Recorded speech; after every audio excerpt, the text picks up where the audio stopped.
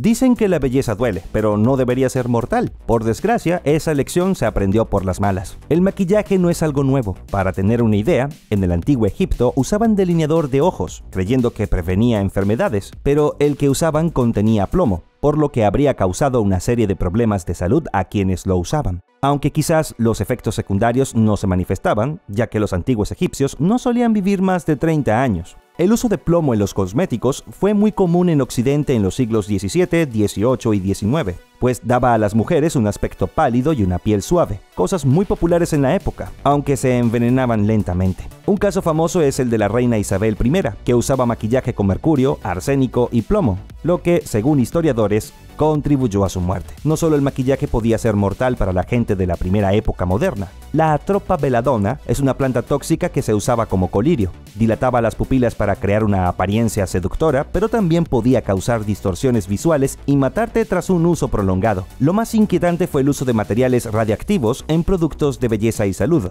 Descubierto en 1898 por Marie Curie, el radio se usaba en jabones, pasta dental, labiales y otros cosméticos. Con su brillo verde se anunciaba como sol líquido. Claro que usar estos productos podía causar envenenamiento, incluso mató a Marie Curie tras años de exposición. Mientras tanto, el arsénico no solo se usaba en el maquillaje, sino también en artículos domésticos y en la ropa. Lo más tristemente célebre es que cuando se teñía la tela con el veneno, esta adquiría un tono verde brillante conocido como verde esmeralda, este tono se hizo muy popular para su época y se utilizó en vestidos, zapatos, guantes y flores artificiales. En 1861, Matilda Schur, de 19 años, que trabajaba tiñendo flores falsas con arsénico, murió por su exposición al veneno. Su bilis, su vómito y el blanco de sus ojos eran de color verde.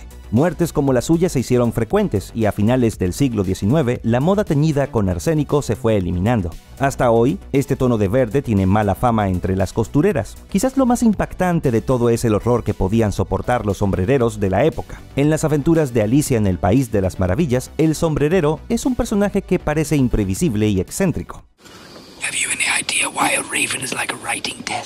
Pero el término loco como un sombrerero no proviene del libro de 1865, está inspirada en la realidad, ya que los fabricantes de sombreros estaban expuestos al mercurio. Aquellos en esta profesión fueron envenenados durante su vida al trabajar con los productos que fabricaban. En los siglos XVIII y XIX, los sombreros se fabricaban con pieles de animales, mediante un proceso llamado keratin.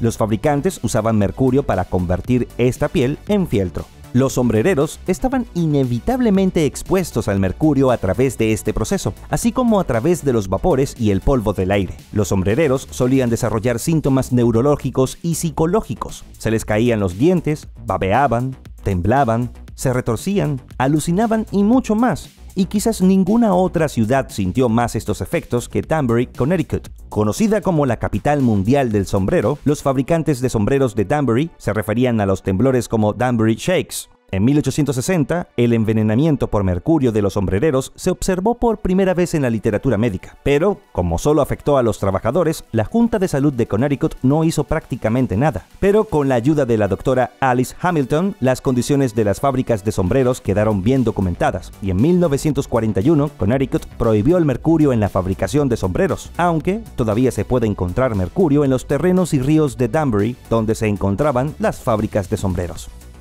Mira uno de nuestros videos más recientes aquí. Además, más videos de grunge sobre tendencias en la historia vendrán muy pronto. Suscríbete a nuestro canal de YouTube y activa la campanita para que no te pierdas de nada.